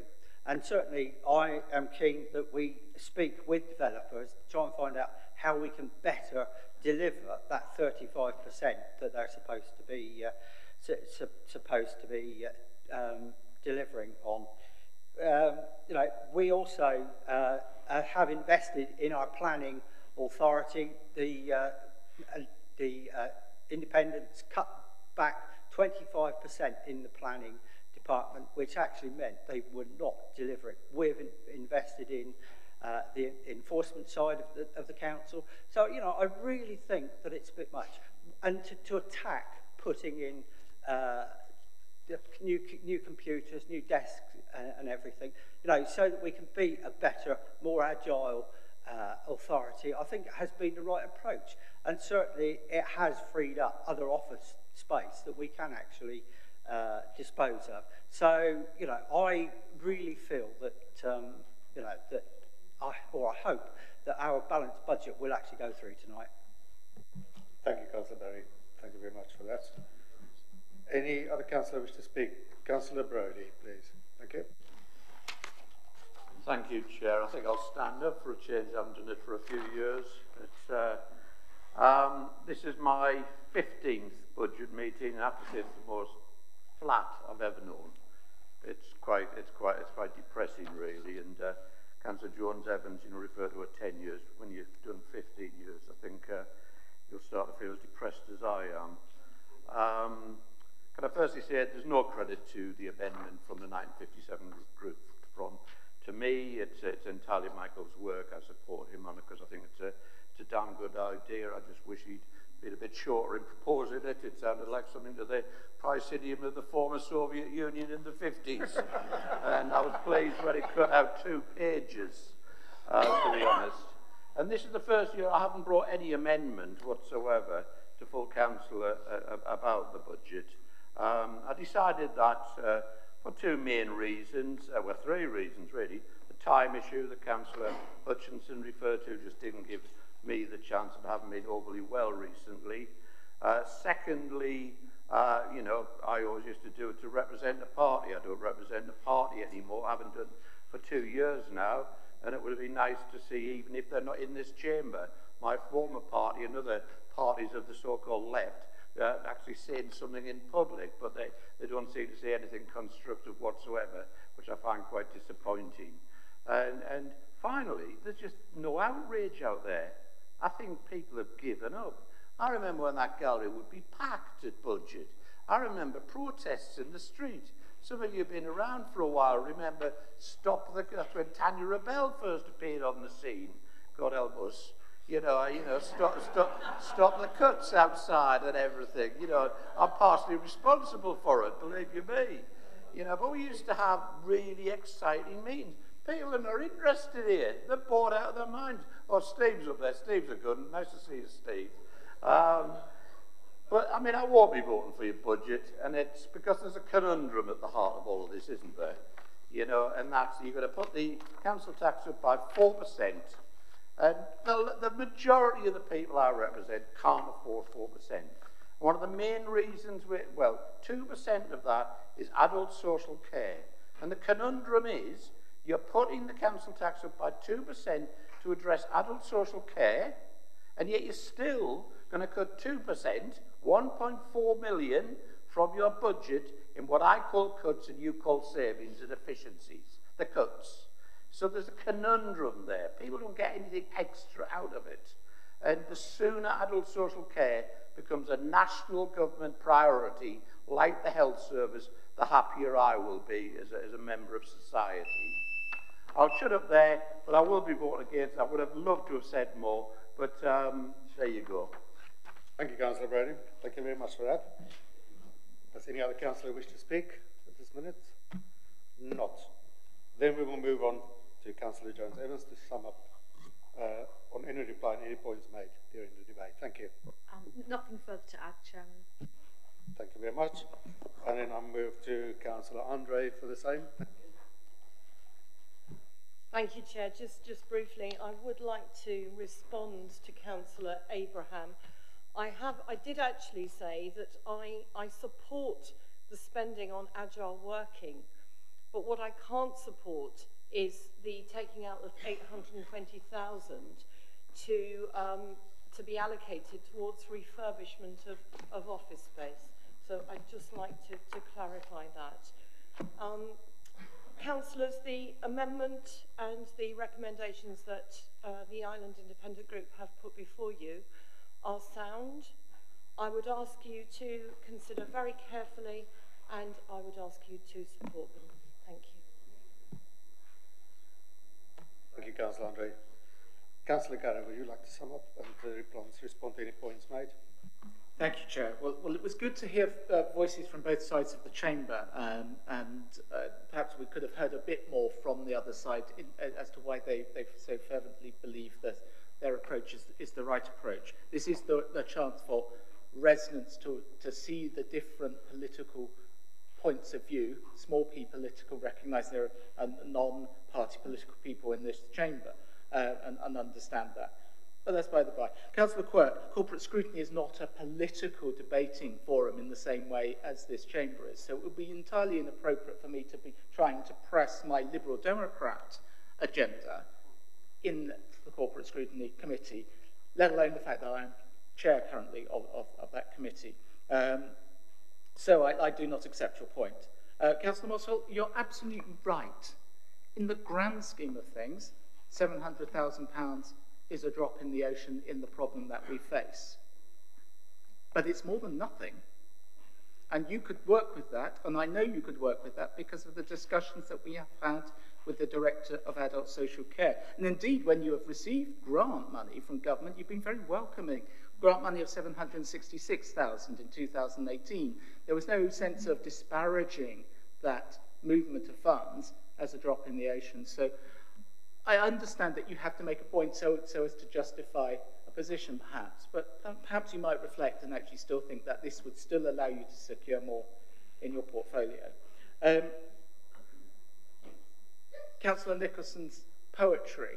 Um, there is nothing I can respond to on that.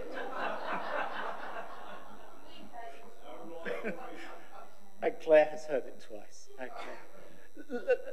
Councillor Brodie is absolutely right. We have the, the nation has been so beaten down over the last years of austerity that the, that the stomach for outrage seems to have gone. I hope it can be rekindled. Um, because, and I think it will now that we have a government situation, which is clearly we know where to hold people accountable. And I'll finish with that point um, on that government. That government is led by Boris Johnson. Councillor Abraham suggests that we should give him some slack, Mr Johnson, because he's only been in the post a few days. Well, he's actually been in post 217 days. And most political leaders pride themselves on achieving in their first 100 days and really setting a mark. So he's had double that. At the moment, all we know about Boris Johnson is interest in islands. Is, it, it seems to be in the Caribbean rather than... Maybe we need to get him to come and have a holiday here. That would be great. Send him an invitation. I'm not on Airbnb, but he can have my spare bedroom. I'll, I'll, I'll rearrange the study. He can come and stay here. He likes islands He can bring Carrie as well, and we'll discuss the issue. But joking aside, that is the real problem. Whatever we are discussing here, we all know, and we've heard, heard that from across the chamber, that the real problem is with central government funding. And I hope, and I really do sincerely hope, that Conservative colleagues in this chamber, and I see you as colleagues in this battle, get it across to your political colleagues in Westminster that enough absolutely is enough. And no amount of guffawing from our Prime Minister will, will do us do any good if it's not backed up with pounds and pence. Thank you, Councillor Garratt. Uh, I would like to invite Councillor Lilley to sum up, please, and respond to any issues raised. Uh, thank you, Councillor Brodie. Um, I don't need enemies Sorry. when I have friends like you. uh, and, and, I'm, and thank you for confirming that I'm dull. But there you are. um, but, but basically, uh, on some of the points, um, I think uh, highlighted by Councillor Brading and Councillor Mosdell, um, the statutory services that we supply have, have been, I think, uh, managed as best that we can in the circumstances.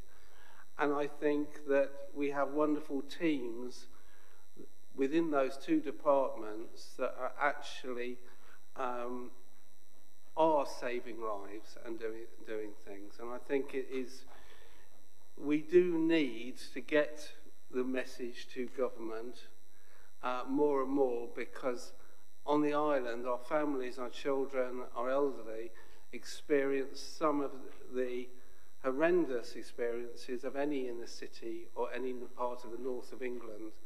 And the scary thing is that government at the moment seems to be looking at the north of England Um, and we, as a, one of the poorest parts uh, of the southeast, are getting annoyed, uh, ignored. And I think that's a cross-party duty as islanders for us to actually really um, raise that issue and actually get a, a, a deal. Uh, my motion and, and my mantra about an island act I will leave until later, but I uh, have a slightly different approach or approach to that. Um, I think Councillor Abrams, I wish to thank him for actually being critical of uh, Boris and actually saying that we've got to get him here. So I actually, I, I welcome the fact that um, you, you have or share that uh, uh, criticism. My other colleagues on their amendments have highlighted slightly different things which are very important. I think the ideas of the independence on housing, and looking at how we use compulsory purchase orders for, how we use enforcement to get a lot of some of the properties, you know, that in places like Ryde and Newport are laying empty because we have got uh, owners of them that are just sitting on book values for them and not actually bringing them into, into use. And we do need to really tackle them and say that is not good enough. And compulsory purchase orders would be a very important uh, tool within that. Just particularly um, my Green Amendment, and I taking on Councillor Quirk thing, you know, having two days to a few days to actually do something, put something sort of forward. I focused on one thing, and that thing was this issue of climate change and green thing because out of that we can actually uh, really highlight the real natural resources of this island. We could be self-sufficient in, so in solar energy in the next 10 years because the storage technology is coming into action. We could actually be supplying solar energy as, as well as for every house on this island, but also Im importing it. It's very interesting, the Dutch were building an island to actually sell us solar energy from the, uh, you know, from Holland. So it's, it, we could do this. Uh, on the, the thing of risk, I'm clearly saying we know a million pound is coming in from green investment, coming back into the coffers in the next few months. All I'm doing is taking out for reserves for a few months and that money will be replenished.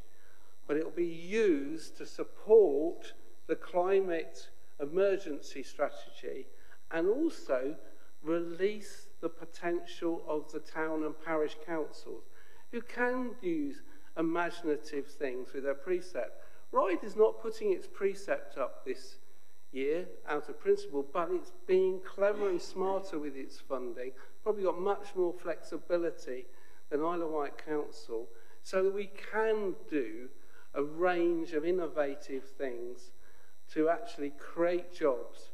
Simple things like bringing deck chairs back onto our beaches and things. Actually, um, getting the harbour um, thing where the Isle of Wight Council hasn't been able to, to do that. So thank you. I, I hope you. you support this amendment. Thank you. Thank you, Councillor Lee. And finally, I would like to invite the leader to sum up, please. Thank you. Yeah, thank you, Chair. Um, the first point which Councillor Andre raises, we're probably not going to agree on because I found so many different dates now. So um, obviously we had Councillor Stevens um, departing from the independents, and I quote the Deputy Leader, Councillor Stubbings, um, the administration was in a real mess and Councillor Stevens' resignation was a gift to the opposition. Well, I don't know whether it was or wasn't, but I can confirm that in 2017, I, no, no, it's Councillor Stubbings. It's in the county press. Must be true. So, um, so I can only read what I'm reading. Uh, moving on, uh, Councillor um, Julie Jones-Evans was part of a cabinet which came in in January 17, and in a very short space of time, we managed to set the budget and get the ship going when uh, it was Councillor Bacon, who right, who then departed. And I don't need to go into the details of that. And the point I'm making is we picked up the situation we picked up. So we have worked hard over these four years. And we are in the position that I described earlier. I just want to focus on the amendments. Um, it is difficult to make a judgment on their merits and validity when there were such short timescales. But of course, there was nothing to stop any member in this chamber coming to the group, coming to the cabinet, talking through the ideas. In fact, a number of those ideas didn't rely at all on what was in our budget paper. They actually were some different ideas which could have been considered. So I don't think you can really hide behind that. I've got a few phrases I wrote down here. We just need to get this budget done because we owe it to the island to keep this business up and running. And there are 365 MPs, Councillor uh, Garrett, who means there's 365 constituencies in the country which seem to think Boris is the right person. So we have to live with democracy. Having said all of that, um, collectively, these amendments would take £2.5 million out of our reserves and would start to move us back towards a precarious financial position I described earlier. We would also choose to add to that risk. Why would we choose to add to that risk now, which we know would threaten our future financial position? Um, it's difficult when a, a particular administration's walked away and left us in the situation they did to then listen carefully to what they say is an idea. But I do recognise that a number of the members in this chamber weren't in the previous independent administration. Amendment 1 to reduce general reserves by a million pounds. The proposal does provide an investment fund for town and parish councils could look into um, on the Green Deal. When we, uh, however, we're already doing that with our environmental strategy. Councillor Hastings has been very lean with what he said today, but he could really expand on the good work that we're doing. And all of that is premised on a, the repayment of a loan, which is at best speculative, and has yet to be even agreed, and indeed may be dealt with for different things. So I think that is a financial risk. The uh, deletion of revenue contribution to our transformation reserves of 1.5 million, effectively that's a one-off spend which just kicks the saving situation down the road. So instead of looking at 3.5 million, we're back up looking at more. And that's not the way this administration has tried to be financially prudent.